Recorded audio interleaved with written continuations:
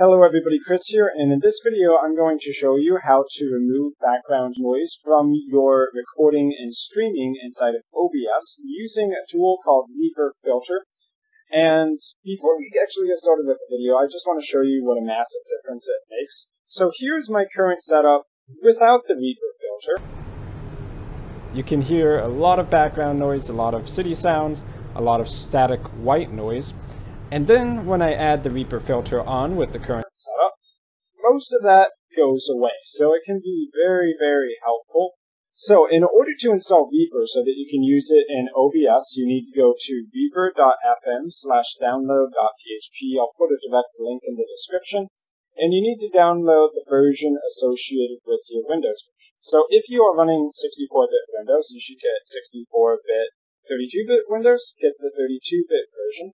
If you need to know how to check what kind of Windows you're using, open up the search bar in Windows, run dxdiag, and it'll tell you where it says operating system, right here, if you have a 32-bit OS or 64-bit OS.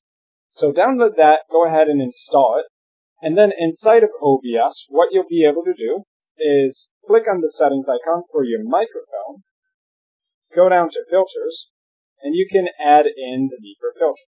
So to do that, we click the plus sign. You go to VST2.x plugin. You can give it a name if you want, something like Reaper Filter.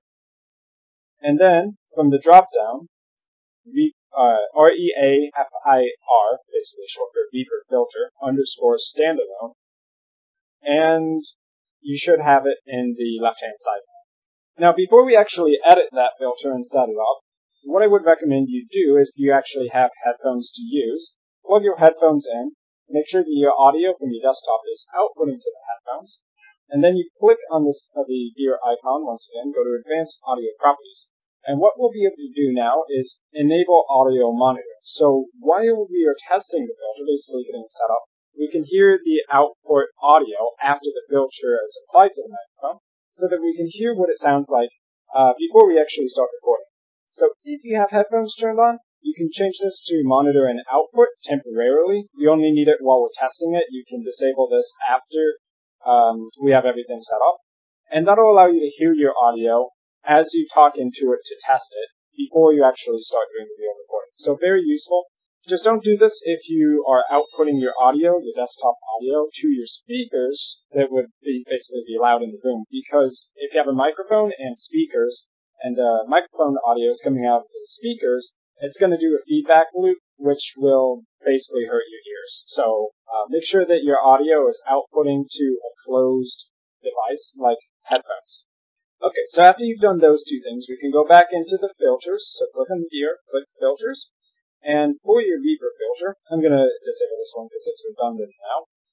Open plugin interface. So you left click it on the audio filters and you click open plugin interface. Now, while you're in here, you want the mode to be set to subtract. And the goal is going to be that when you're not talking, there should be no yellow bars popping up.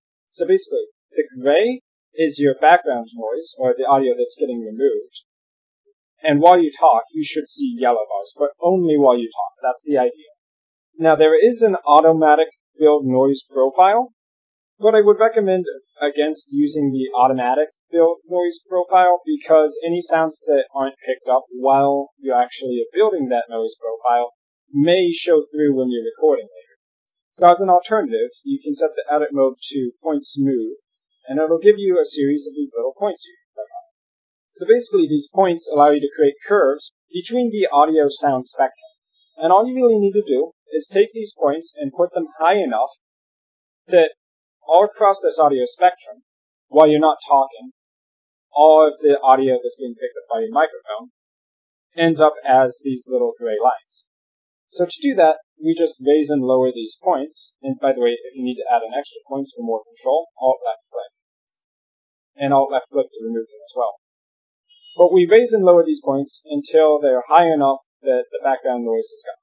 So if I lower this down too much, what's going to happen is that there will be yellow audio bars, basically audio going through the mic, even when I'm not talking. That's not what we want, so we need to raise this until those go away. Now, the only problem is, Uh, if you raise them too much, it's going to start taking away from your microphone audio quality. So the trick is to make it high enough that it removes all the background noise, but low enough that your microphone still sounds clear and not robotic when you actually talk into it. If you live in a less noisy place than I do, uh, you'll probably have a lot less trouble, and you probably won't need to set these points so high. Um, but it's going to vary depending on where you're recording from. And because you should have audio monitoring turned on, you'll be able to hear your audio while you talk into it. So just keep raising and lowering these points, adjusting the curves until it sounds right to you. When you're done, you can just close out of that. Make sure that Reaper filter over here, the eyeball is enabled so that it's actually running. And then when you record, you'll be able to have the Reaper filter take out some of the background noise while you're actually recording and streaming instead of having to do it in an editor in post production. Just be sure that before you close out of OBS or before you actually start recording or streaming, that you turn off the audio monitoring. So we go back to advanced audio properties and we make sure audio monitoring is off. So that's going to be it for this tutorial showing you how to remove background noise while you record or stream inside of OBS. Hi, friend Chris. Thanks for watching, and I will see you guys in my future video content.